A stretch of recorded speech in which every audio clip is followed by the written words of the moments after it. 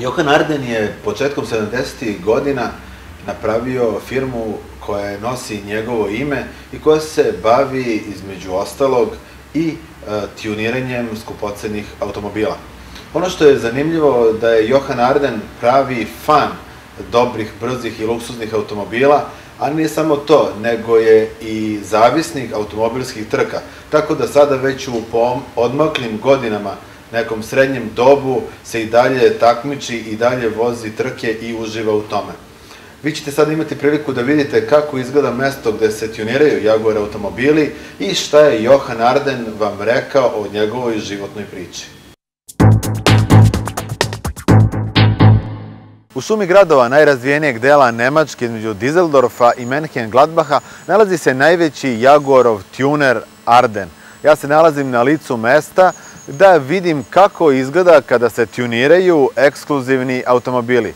Johan Arden je svoju firmu osnovao početkom 70. godina i već na početku je e, bio vezan, usko vezan uz Jaguar automobile.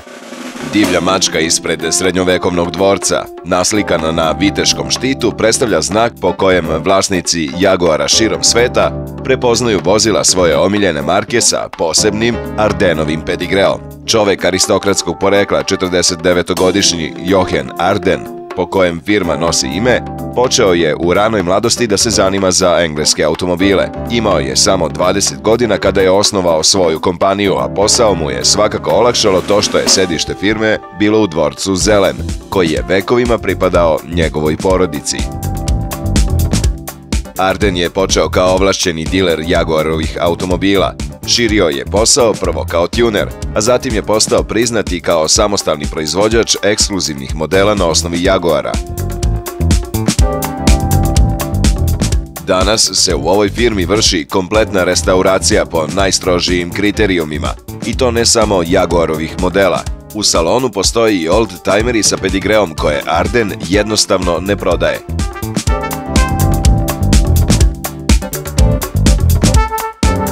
To je kolekcija unikatnih Jaguara prerađenih u njegovoj fabrici, kao i Ferrarijevi sportski i trkački modeli kojima je sam upravljao na takmičenjima. Oni se čuvaju u specijalnom klimatizovanom izlogu.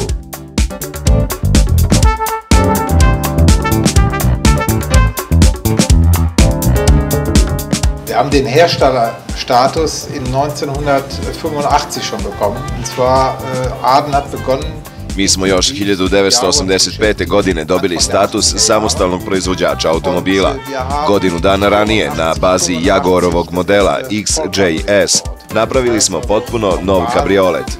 Auto smo brzo rastavili do gole karoserije. Onda smo je pojačali i izvršili odgovarajuće promene, a sve to pratila je homologacija. Mi već 20 godina sarađujemo sa Zavodom za teste u Esenu. Zahvati koje pravimo često su tako veliki da dođe trenutak kada se auto toliko razlikuje od originala, da to više nije Jaguar, nego postaje Arden ili Arden Jaguar ako hoćete. Oder ein Jaguar, wenn Sie wollen. Ja.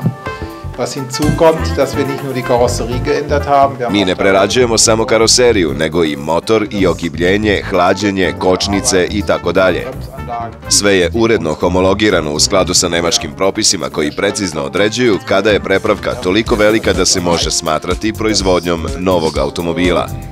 Aufgrund der Tatsache, weil der Gesetzgeber einfach gewisse Vorgaben hat und die Zahvaljujući dobrom protoku informacija između matične fabrike i poznatog tunera, razvoj svakog Ardenovog modela počinje pre nego što se novi model Jaguara pojavi na tržištu.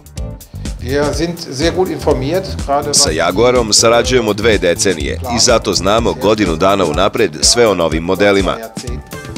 U razvoju i pripremi naših poboljšanja koje ugrađujemo, veliku ulogu ima i trkačko iskustvo.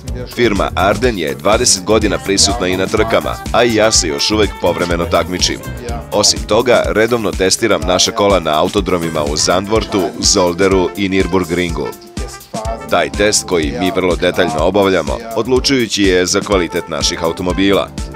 Važno je istaći da je sve što isprobamo i odobrimo za ugradnju prethodno i homologirano. Old-timeri su takođe Ardenova specijalnost, a Jochen Arden otkriva dalje namere njegove firme. Ich habe diese Burg im Jahre 2000 gekauft. Und, Dvorac se sada restaurira. Moj plan je da tamo napravi muzej Arden automobila i najvrednijih old-timera. Najveći radovi su već završeni.